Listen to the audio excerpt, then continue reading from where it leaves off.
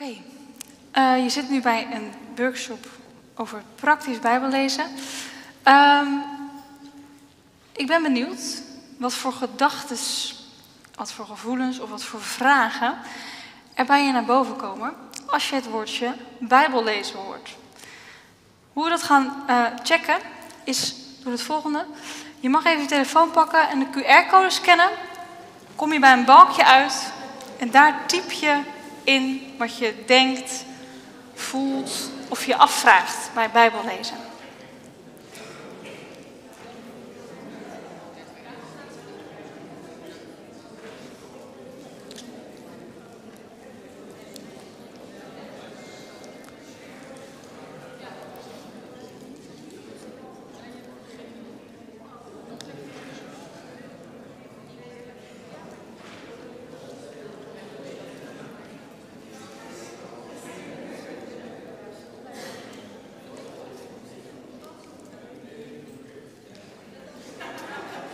Bijna iedereen heeft hem uh, gescand.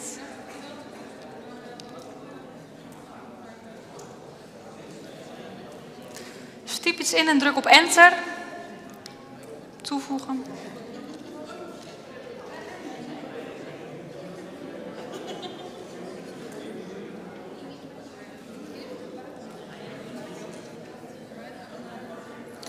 Dan uh, gaan we even kijken. Als dat lukt, ja?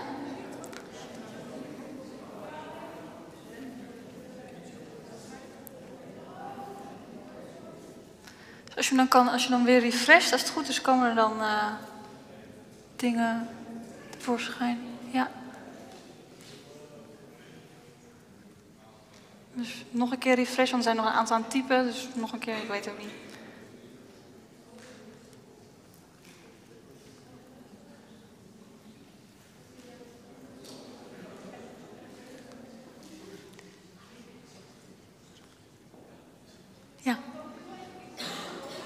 Die QR-code?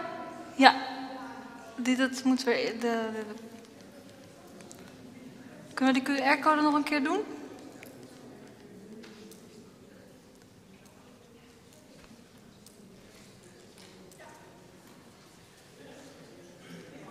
Ik geloof dat je zelf ook mee kan lezen, klopt dat? Kan je ook meelezen als je iets hebt ingezet? Dan zie je ook dit, wat we op het scherm zien. Klopt dat? Allerlei uh, woorden staan hier. Dus laten we ze even met elkaar uh, bekijken. Ik ga ze niet allemaal één voor één langs.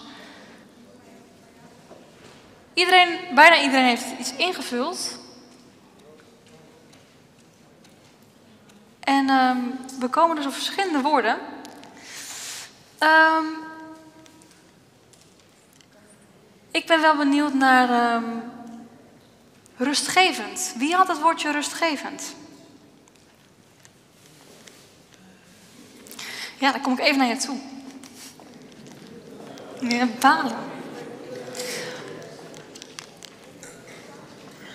Zou je kunnen vertellen waarom rustgevend? Ja, ik zet je voor het blok wel, hè? Ja, wel een beetje. Maar het hoeft echt niet lang te zijn en ook niet perfect. Nou, um, in de psalmen vind ik vaak hele rustgevende boodschappen te lezen. Dus. Mooi. Ja, dus specifiek de psalmen voor jou. Ja. En uh, ingewikkeld. Wie had die? Ja, ik zag het. Wie vindt het nog meer ingewikkeld? Wie herkent zich daarin? Ja? Zou je daar iets over willen vertellen? Wat maakt het nou zo ingewikkeld?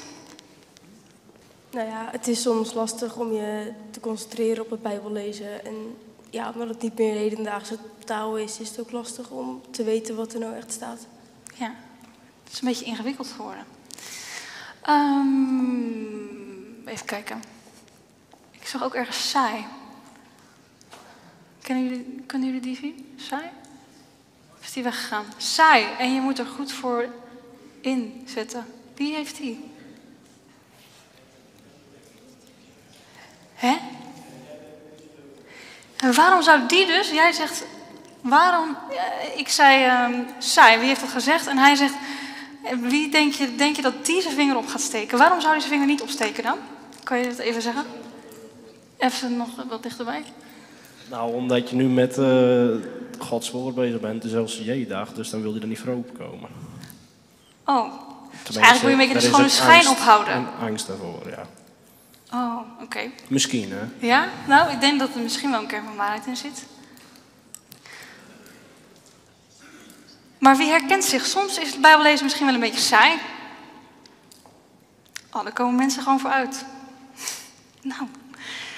Ehm, Oké, hou het woordje saai nog even vast. Ehm, nou, verschillende dingen. Gods stem horen, lessen voor dagelijks leven, heilige grond. Mooie woorden zijn dat. Ehm, na het eten, woord van God. Afstand. Ben benieuwd.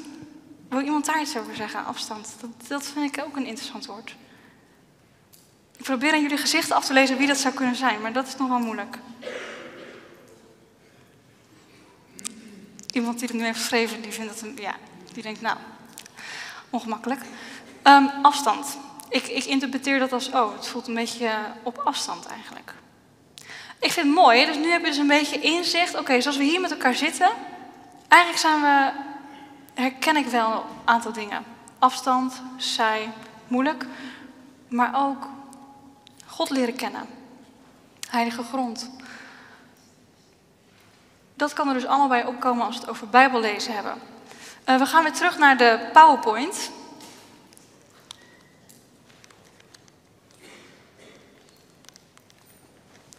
Even kijken. Ik, doe, ik druk wel ergens op, maar er gebeurt niks. Ja, je hebt een uh, papiertje gekregen. En dan mag je antwoord op geven op deze vraag. Hoe is het met jouw Bijbellezen gegaan de afgelopen drie maanden? Schrijf op wat je zou antwoorden.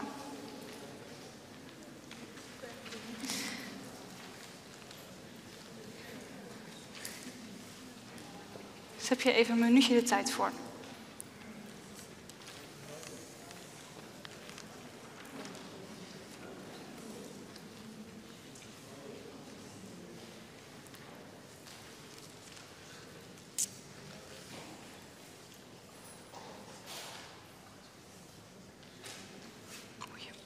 Blaadje?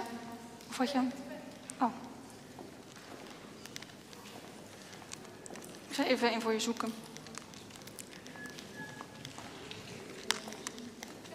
Oh, ging snel.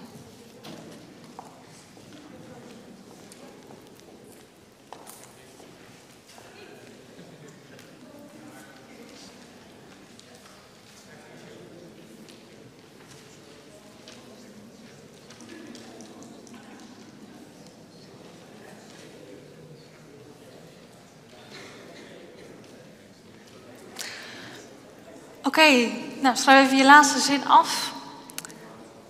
Hoe is het met jouw Bijbellezen gegaan afgelopen drie maanden? Um, als ik mezelf uh, vorig jaar of twee jaar geleden in ieder geval die vraag zou stellen. Um, geloof, ik geloof. Ik geloof in God. Ik geloof in Jezus en de Heilige Geest. Maar het, het lezen van de Bijbel vond ik moeilijk. Taai. Ik kon er niet toe zetten. Ik vond het gewoon, ik deed het gewoon niet. Op een gegeven moment was ik daar wel eigenlijk wel een soort van klaar mee. Want ik dacht, hoe kan het dat als je gelooft in God, als je gelooft dat God realiteit is, in alles zeg maar, dat, dat, hij, dat hij echt is en echt wat te zeggen heeft over je leven, hoe kan het dan dat ik er zo weinig mee wil of mee doe? Nou, ik ben gaan zoeken naar antwoorden voor mijn eigen leven.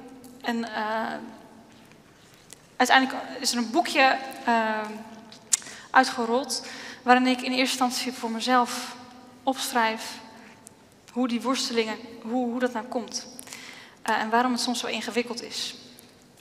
maar misschien zit je hier en herken je helemaal niet in die worsteling, dat kan ook. heel mooi. Maar ja, soms, ik proef een beetje ook in de, in de woorden die werden gezegd. Soms is het gewoon wel moeilijk om je ertoe te zetten om het te doen. Ik hoop dat je aan het eind van deze workshop uh, weggaat met: oké, okay, Bijbel lezen. Misschien heb ik niet altijd zin, maar toch is het werkelijk goed om het woord van God te lezen. En dat je ergens ook praktische handvatten hebt gekregen om het te gaan doen. Saai. en op een afstand kan het soms voelen, het lezen. Het kan ervoor zorgen dat de Bijbel juist dicht blijft. Het zijn maar woorden namelijk, het zijn zwarte letters op papier. Nou ja, er is natuurlijk heel veel anders leuk te bedenken om te doen in plaats van dat te lezen. Nu is dat nog maar de vraag. Ehm, John Piper gaat in op, het, uh, op dat, die, die gedachte. Dat we soms denken, de Bijbel is misschien een beetje zoals een grauwe, grijze muur. Hij zegt nee, het is veel meer dan dat. Want het gaat over de schepper van hemel en aarde. Die jou gemaakt heeft en de mensheid op het oog heeft. En wil laten zien wat hij werkelijk bedoeld heeft met het leven voor jou en voor de mensen om je heen. Daar gaan we naar kijken.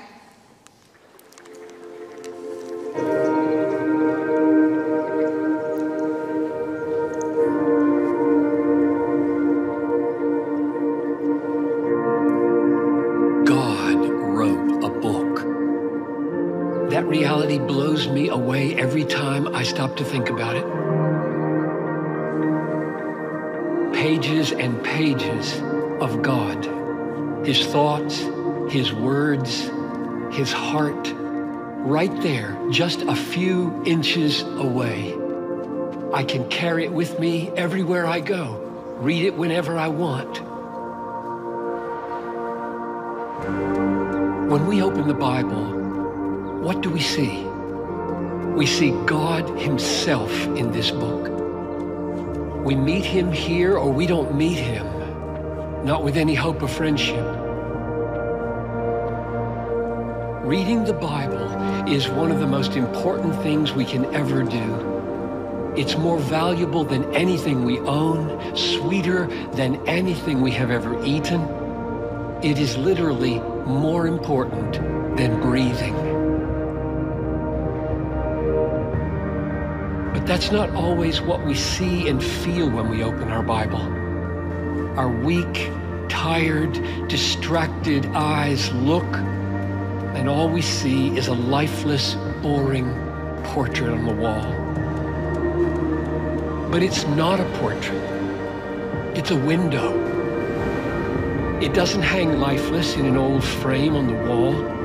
It breaks through the wall into another world, the real world, the lasting world, the better world. And through this window shines a divine light that changes everything around us.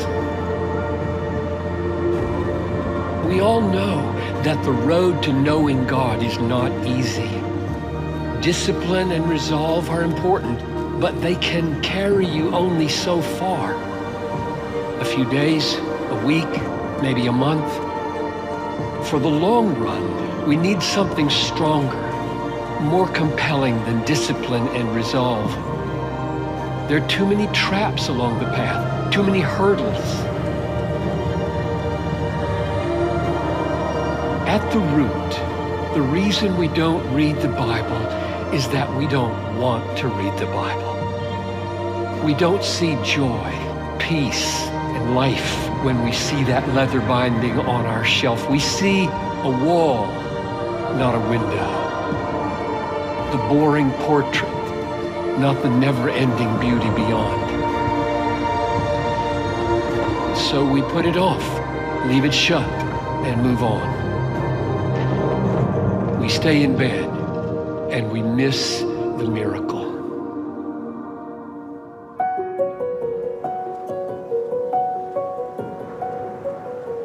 God who said, Let light shine out of darkness, loves to speak light into hearts and minds. God wrote a book, and with his book, these words in front of us, he wakens our dead, bored souls. He frees us from bondage to sin, from desires that rob us of life.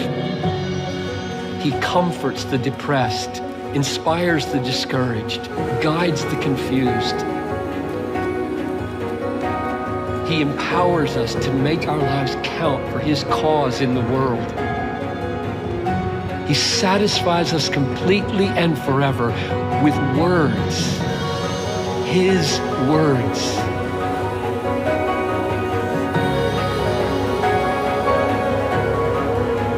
So, will I read my Bible tomorrow? Where else would I go? How else will I know Him? How else will I prepare myself to enjoy Him forever? Yes, I'll spend the rest of my life looking out of this window, watching, waiting for another sight of Him, another miracle, another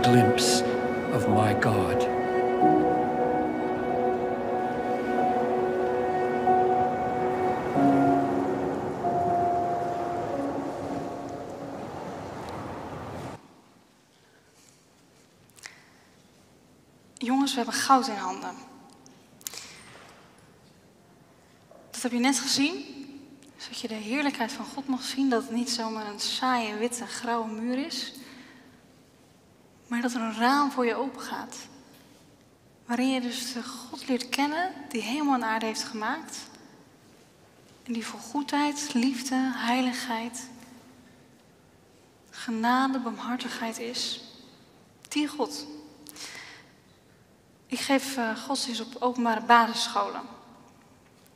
Spreek ik met kinderen die niet met God, niet met de Bijbel zijn opgevoed. En we hebben een van de eerste lessen is dan een les over de Bijbel. Dan deel ik Bijbels uit. En dan vraag ik, wie heeft nu voor het eerst in zijn leven een Bijbel in handen? Bijna alle handen gaan naar boven. Groep 5 tot en met groep 8. Ik heb ook les op de middelbare school, op een christelijke school. Heel veel kinderen zijn daar ook niet met het geloof opgevoed. Stel ik ook die vraag, want ze moeten voor godsdienst nu allemaal een Bijbel kopen. De eerste les lezen we dan de Bijbel. Wie leest er nu voor het eerst in zijn leven de Bijbel? Heel veel handen gaan naar boven. En jij hebt goud in handen. Van jongs af aan, in ieder geval neem ik even aan, zoals je hier zit en in de kerk bent opgegroeid, is dus het woord van God zo dichtbij in je eigen taal. God spreekt tot je in je eigen taal. Hij laat je weten dat hij wil dat je bij hem gaat horen, dat je gaat geloven in de Heer Jezus. En dat je leeft volgens zijn goede woorden.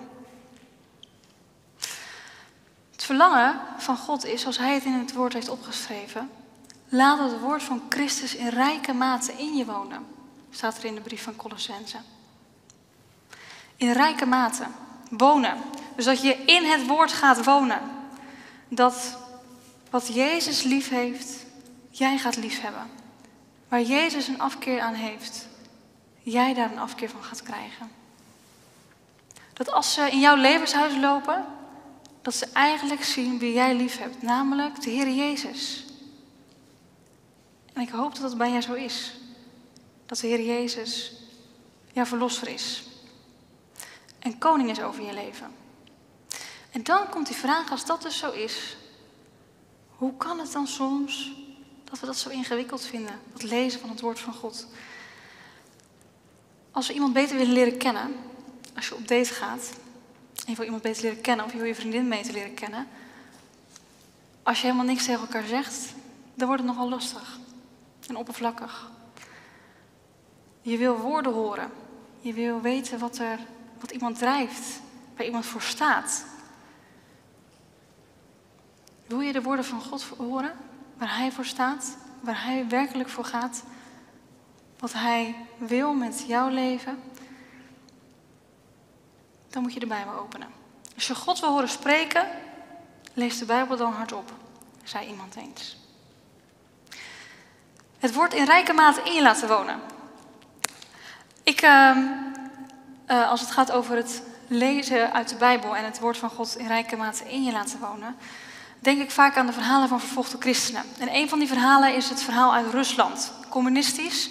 Dus dat betekent dat eigenlijk uh, bijbelgetrouwe christenen die anders dachten dan de staat, er helemaal niet mochten zijn. Drie leiders dachten, we blijven doorgaan. Wat deden ze? Ze gingen huiskerken stichten. Want er was geen andere optie om anders het lichaam van Christus te zijn. Dat deden ze. De kerk groeide met familie en vrienden, want die waren te vertrouwen. En op een dag zeiden de leiders tegen elkaar: Ja, maar die jonge mensen uit onze kerk. die hebben geen idee wat er kilometers verderop gebeurt. Die denken dat ze alleen zijn. Dat er geen andere jonge christenen zijn. Weet je wat we gaan doen? We gaan een conferentie organiseren. waar we al die jonge mensen uit die gemeentes bij elkaar laten komen. En ze gaan toerusten. Dat deden de leiders in de wetenschap dat als ze zouden gesnapt worden, dat ze zeker zeven jaar in de gevangenis zouden gaan zitten. Ze gingen het organiseren. Uiteindelijk zijn de leiders achteraf ook opgepakt. Maar ze zeiden daarover, we hadden het niet anders willen doen, want de geest van God was daar.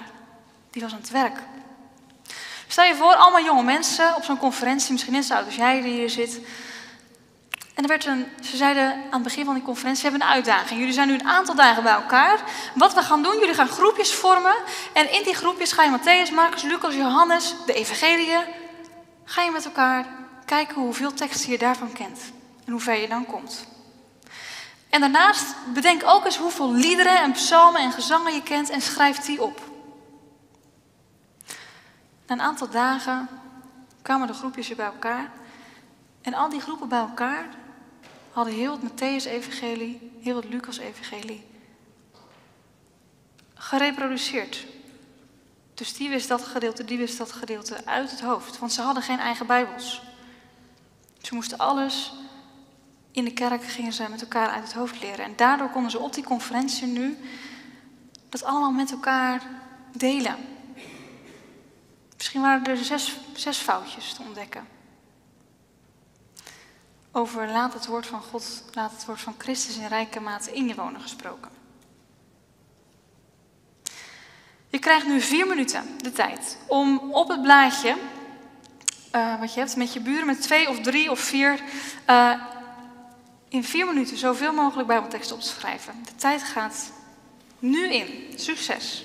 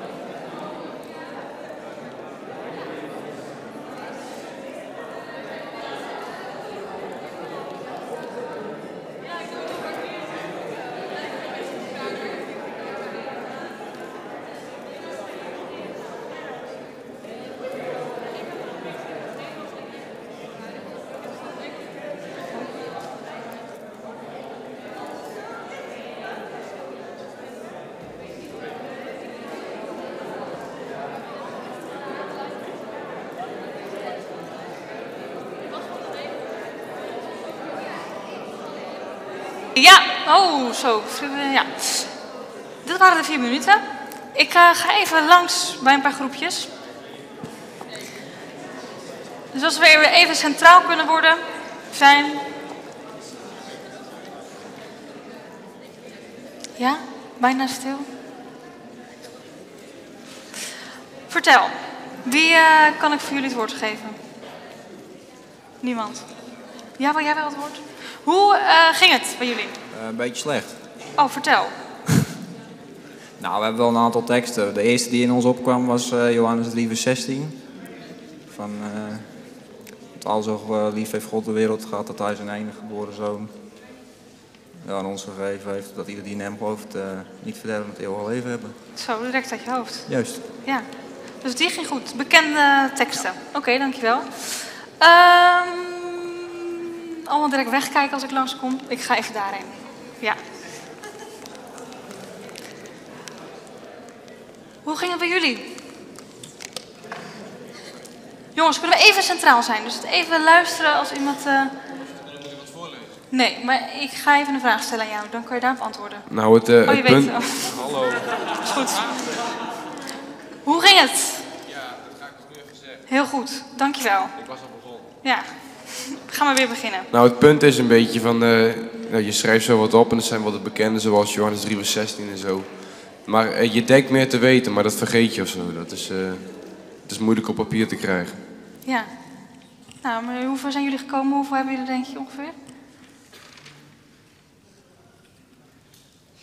Ja, als ik tel, Een stuk of 25 denk ik. Oké. Okay. Wie heeft er meer dan 25? Als groep? Ja, als groep. Ja, gewoon met elkaar. Ik hoor daar zeg 25. Hoe ging het bij jullie? Jij mag even het woord. Ja, ging op zich wel. Beetje uh, in de korte tijd uh, moeilijk om letterlijk op te schrijven. Ja, letterlijk is lastig. Noem maar eens. Um, en God zag dat het groep was. ja. Of uh, waar twee, twee of drie in mijn naam vergaderd zijn, ben ik in een. Ja, dus het zijn teksten die vaak in de preek of in de kerk vaak herhaald worden. Laat het woord van Christus in rijke mate in je wonen. Um, misschien een tip om, uh, om eens te kijken, om eens te oefenen met uh, een bijbeltekst uit je hoofd leren. Kinderen zijn heel makkelijk in het leren. We zijn al ietsje ouder, dus, uh, maar ik ben nog steeds heel jong, jong genoeg om dat goed te kunnen. Ik, uh, toen ik op kamers zat, uh, had ik een huisgenoot waarmee ik samen dat soms deed. En dan kwamen we elkaar tegen op de gang en dan zeiden we: Oké, uh, een gebed uit Efeze. Oké, om deze reden buig ik mijn knieën voor de Vader van onze Heer Jezus Christus. En hoe gaat hij verder? Dus dat je het samen deed. Dus met je buurvrouw of buurman, misschien kan je een tekst die gaat over het woord van God. Timotheus, 2 Timotheus 3, vers 16 misschien.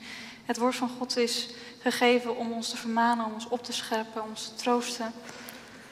Misschien is dat een mooi om eens te leren. Waarom is dat belangrijk? Omdat mijn dominee zei een keer, misschien komen er momenten dat er dus geen Bijbel is.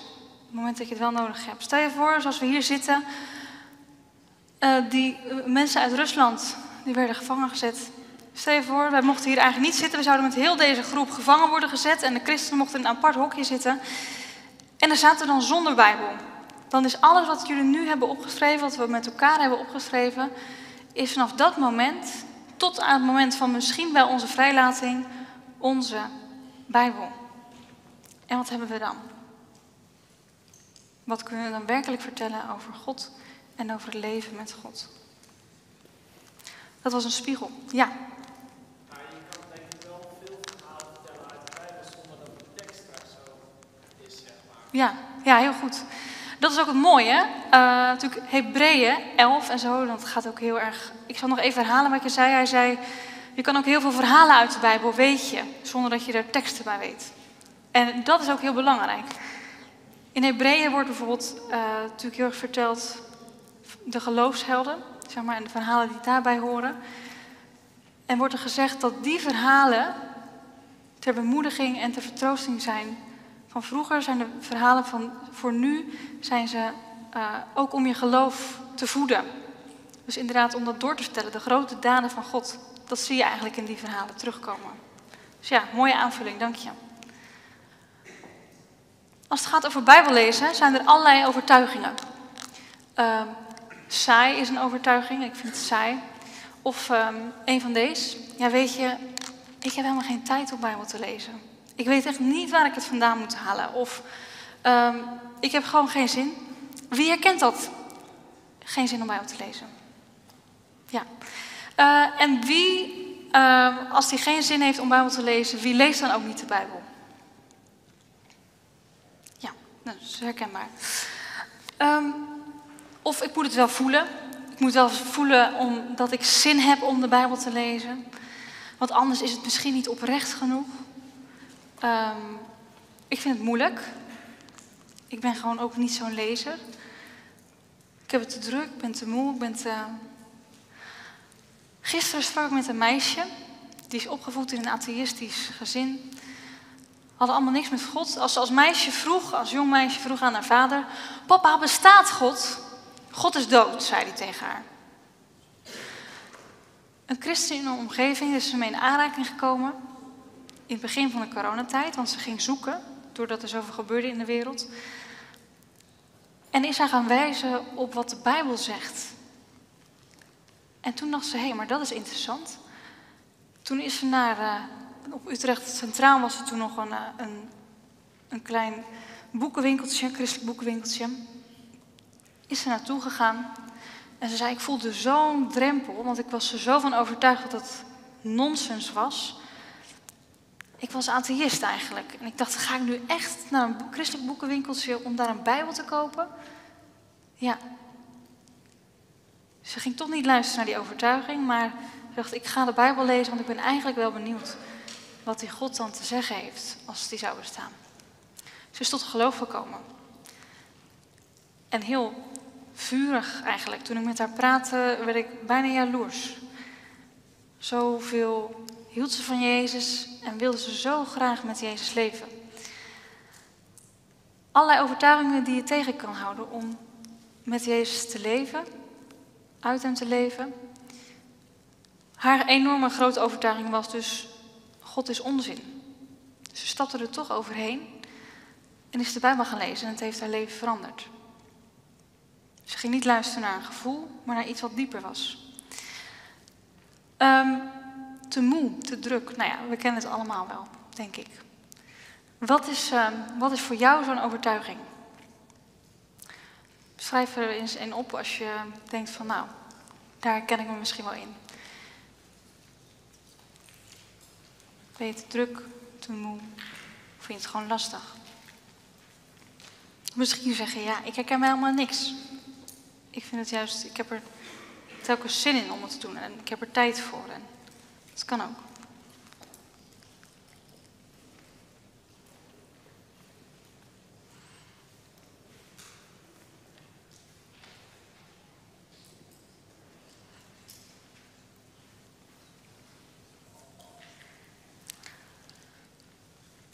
Als we het hebben over onze daginvulling um, en het lezen van de Bijbel, um, moest ik denken aan het gegeven dat het woord van God vaak wordt vergeleken met voedsel. God die zegt in het uh, boek van Deuteronomium, zegt hij, um, de mens kan niet alleen leven van brood, maar leeft van ieder woord dat door God gesproken wordt. Van ieder woord. Dat is dus echt leven. Maar als ik naar mezelf kijk, en misschien herken je het wel, is het vaak zo dat um, Stel je voor, je gaat uh, naar een drie-sterren-restaurant of uh, met Michelinster en je, je bestelt drie gangen menu. Dat, dat is heel goed eten. Dat onthoud je. Maar die normale prak met uh, rookworst, ja, dat is gewoon normaal.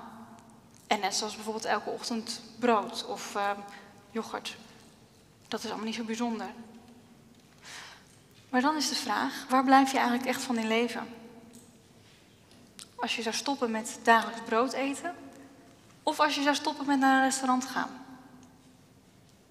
Het antwoord is natuurlijk dat je eigenlijk gebaat bent bij gewoon elke dag het normale brood, het normale eten eten. En met het leven met de Bijbel is het vaak ook wel zo dat we zoeken naar grote momenten, die drie gangen maaltijden of dat ene concert. Daar heb ik God echt ervaren. Of die ene jongerenavond. Nou, daar heb ik echt wat geleerd. Veel meer dan dat ik in mijn tijd, als ik de Bijbel open doe, leer. Maar daar alleen kan je niet van leven. Dat hebben we misschien wel in de coronatijd gemerkt. Alles viel weg, ook zeg maar de diensten zoals we die gewend waren.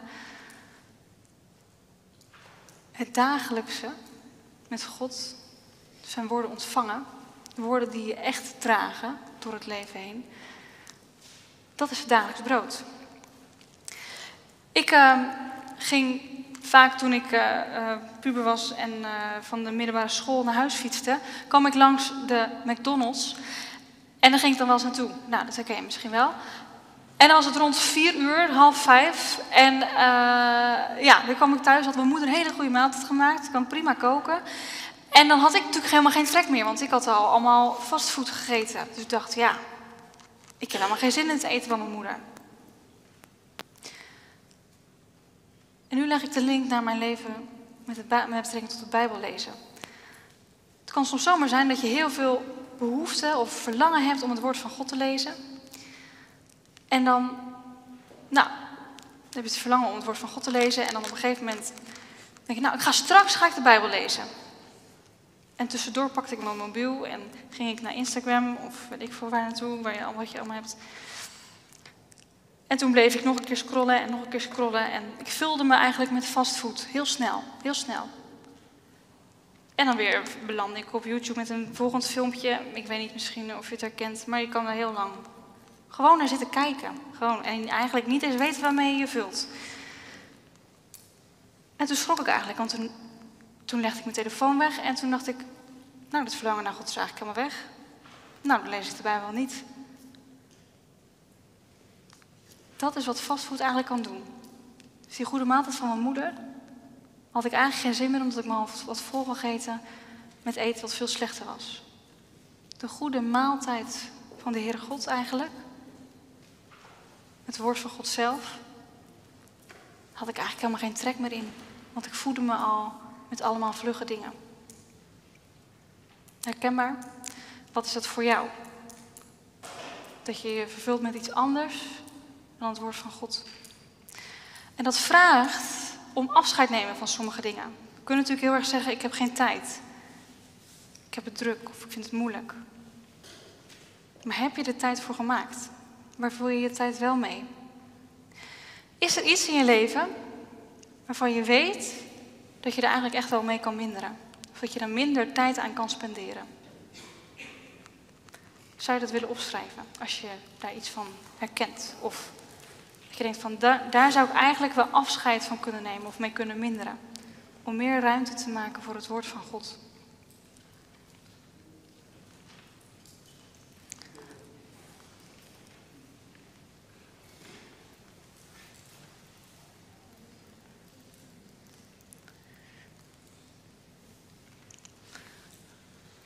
Drie punten. Drie dingen die je kunnen helpen bij het lezen van het woord van God. Een tijd, een plek en een plan. Um, als je het hebt over gewoontes en ritmes. Ik weet niet wat jouw gewoonte is als je wakker wordt. Maar mijn gewoonte uh, kan wel zijn dat ik mijn telefoon pak. Wat nou als je die gewoonte van het pakken van je telefoon en gewoon een handeling, hè? We hebben heel veel handelingen. Dus we pakken ons telefoon als we wakker worden misschien. Wie doet dat? Oh, ik ben gelukkig niet de enige. Uh, de telefoon pakken als je s ochtends wakker wordt. Uh, je ontbijt doe je al jaren hetzelfde. Um, op een bepaalde dag van de week sporten doe je altijd. Altijd staat het in je agenda. Komt niks tussen. Echt misschien heel soms allerlei gewoontes die je hebt. Wat nou als je bijvoorbeeld dus het pakken van je telefoon vervangt met um, het pakken van je Bijbel? Gewoon. Alleen al als handeling dat je de Bijbel pakt en die open doet. Of wat mij helpt, is het gebedenboekje. Een klein gebedenboekje waar mooie gebeden in staan. Dat ik die pak in plaats van mijn telefoon. Dat ik die pak, open doe. Ook al heb ik misschien soms zin om toch even te checken of ik nog een appje heb. Dat ik die open doe. En direct mijn hart, mijn stem tot God richt. Want jongens, ik kan de dag helemaal niet beginnen zonder God. Ik heb God zo nodig. Wij allemaal hebben God zo nodig om de dag mee te beginnen.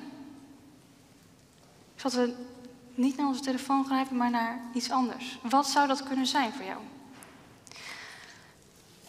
Wat je kan helpen, is dus als je antwoord hebt op deze drie dingen. Een tijd. Bedenk eens. Wanneer heb jij tijd voor het woord van God? Het kan op de ene dag weer anders zijn dan de andere keer. Misschien moet je heel vroeg in de auto zitten naar je werk of heel vroeg op de fiets zitten naar je school. Misschien denk je dan, nou, dan kan ik misschien wel de audiobijbel van YouVersion, die heb je, aanzetten. En dan ga ik gewoon een hoofdstuk luisteren. Of je zegt, nou, in de middag heb ik er eigenlijk tijd voor, of in de avond. Is er in je week, zijn er tijden wanneer je daar tijd voor hebt? Schrijf dat eens op. Wat komt er dan bij jou naar boven als het gaat om tijd? Wanneer denk je, dan wil ik tijd maken? Dan heb ik eigenlijk tijd en die zou ik willen besteden aan het woord van God.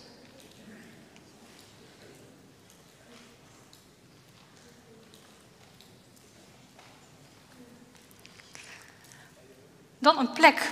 Nou, voor de een is dat misschien dus in de auto of juist aan een tafel in plaats van liggen in je bed. Um, een plek. Wat is een goede plek voor jou? Mij helpt het dus om telkens een vaste plek te hebben daarvoor. Zodat je weet waar je aan toe bent. Dat je het niet een beetje op zijn beloop laat. Als laatst, een plan. Um, ik weet niet hoe je de Bijbel leest, maar misschien denk je, nou weet je, um, ik heb, voel me vandaag gewoon een beetje verdrietig, dus, dus lees ik Psalm 23. Want daar staat erin dat God troost. Of eh, ik wil weten, ja, ik voel me een beetje onzeker over het geloof. Ik ga Romeinen 8 lezen. Alles laat je dus afhangen van je gevoel. En heel veel Bijbelgedeelten sla je eigenlijk over omdat je je nou helemaal niet zo voelt. Dan kan het dus zomaar gebeuren. Kijk, heel vaak willen we als mensen helemaal niet worden aangesproken of wat we verkeerd doen. Dus dan gaan we al helemaal niet de teksten opzoeken waarin God ons soms even flink op onze plek zet. Zo krijgen we eigenlijk een hele eenzijdige Bijbel en lezen we heel eenzijdig Bijbel. En een eenzijdig beeld van God. Een plan kan je helpen. Je kan ervoor kiezen om de Bijbel een heel jaar te lezen. Of het Nieuwe Testament alleen, of alleen het Oude Testament. Of je zegt, nou, ik lees um, handelingen een keer door. Een plan. En waarom dus een plan? Dat je dus niet laat afhangen van je gevoel wanneer je iets gaat lezen.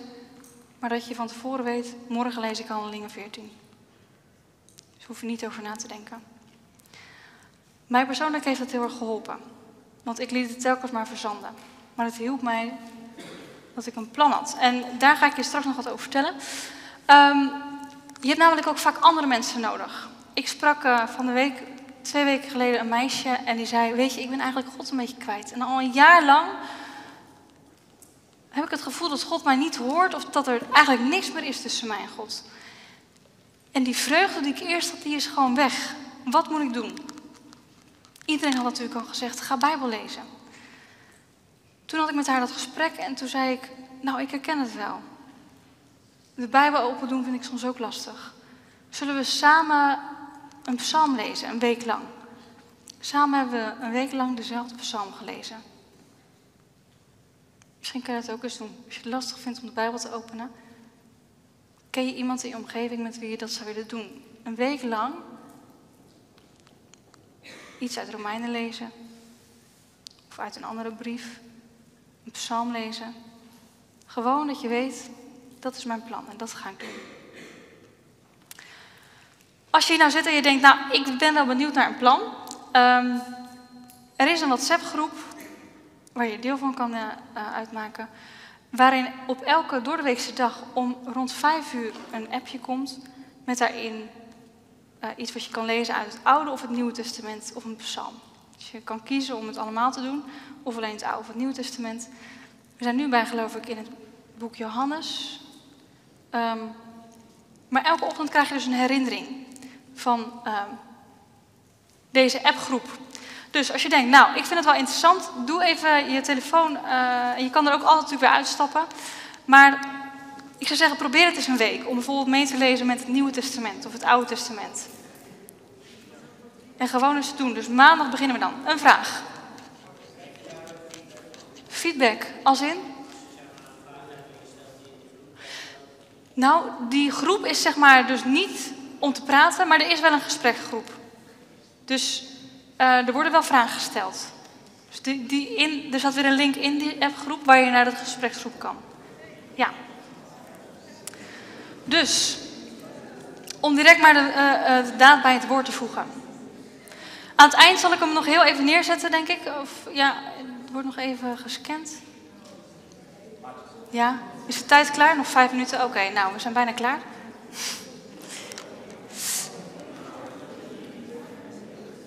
Oké, dames en heren. Nog vijf minuten. Ehm, ik wil afsluiten met een verhaal.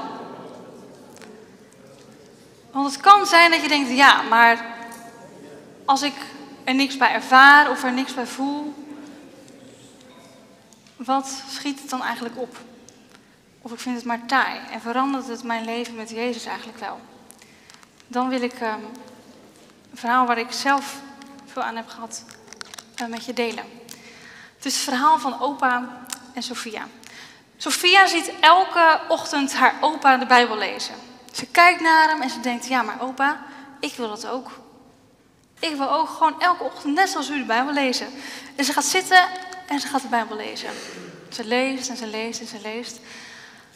En op een gegeven moment is ze een beetje moe van. Opa, ik snap het niet. Er verandert helemaal niks in mijn leven. Er is niks van te zien. Waarom, waarom doet u dit? En, en, en waarom zou ik het eigenlijk doen als er niks van te zien is? Opa is bezig met de kolen uit de kolenmand halen. En hij draait zich om met de mand in zijn hand. En hij zegt: Sophia, wil je deze mand even met water vullen, daar bij het riviertje? Sophia die denkt: waarom gaat hij niet gewoon in op mijn vraag? Sophia gaat naar buiten en denkt: nou, ik zal het wel doen. Is een mand, een rieten mand. Dus hoe kan hier ooit water in blijven? Ze loopt naar het riviertje toe, schept water eruit en loopt naar opa toe. Nou, opa, kijk, er zit helemaal geen water meer in. Ga nog maar een keer. Ze loopt weer terug, komt weer terug. Weer geen water. Ga het nog maar een keer proberen, zegt opa. Sophia gaat weer terug, schept het water erin en rent dan heel snel terug. Ja, maar opa, kijk, zelfs als ik heel snel ren, het water blijft er niet in zitten. Het heeft gewoon geen zin. Hoe vaak ik ook blijf lopen, het water gaat er gewoon uit. Opa glimlacht. Ja? Maakt het echt niet uit? Kijk eens naar de kolenmand. Sophia kijkt naar de kolenmand. De mand die eerst helemaal zwart was van het kool. En ziet dat de kolenmand eigenlijk bijna helemaal schoon is geworden. Ze kijkt opa aan. Kijk Sophia, zo is het nou ook met het lezen van het woord van God. Soms denk je, wat heeft het voor zin? Wat heeft het voor nut? Helpt dit dan wel? En verandert het wel iets in mijn leven? Maar telkens dat water scheppen, telkens het woord van God door je leven heen laten gaan, dat maakt je van binnen meer en meer zoals Jezus. Dat je steeds meer Hem gaat kennen, Hem gaat liefhebben. Steeds meer ziet hoe klein jij bent en hoeveel genade je nodig hebt. Dat is Bijbellezen. Het vraagt om volharding. En we leven eigenlijk in een tijd waarin, als je vandaag iets bestelt, nou, morgen is het zondag, dus niet in huis hebt, maar maandag zeker wel in huis hebt. We zijn gewend aan snelle dingen, dat het makkelijk gaat. Maar Bijbellezen is soms taai, is soms moeilijk. Maar God zegt in zijn woord, en dus is het waar, dat zijn woord nooit leeg zal terugkeren. Als je leest, zal hij spreken. Als je zoekt naar zekerheid, zal hij zekerheid geven. Als je zoekt naar antwoorden, naar de waarheid, wat is waarheid in deze wereld? Kan je of bij alle nieuwe nieuwssites en alle nieuwe dingen die de wereld worden ingeslingerd, kan je terecht? Of je kan bij eeuwenoude woorden, die zijn gesproken door Jezus terecht. En soms is het moeilijk. Maar probeer dan eens tegen jezelf zo'n Bijbeltekst te zeggen. Die Petrus bijvoorbeeld zegt. Iedereen verlaat Jezus. Heel veel mensen uit onze generatie stoppen met geloven. Maar dat je dan naar het woord van God kijkt en zegt: Ja, maar Jezus, waar moet ik anders heen gaan? Want u heeft de woorden van het eeuwige leven. En dat verlangen wens ik je toe.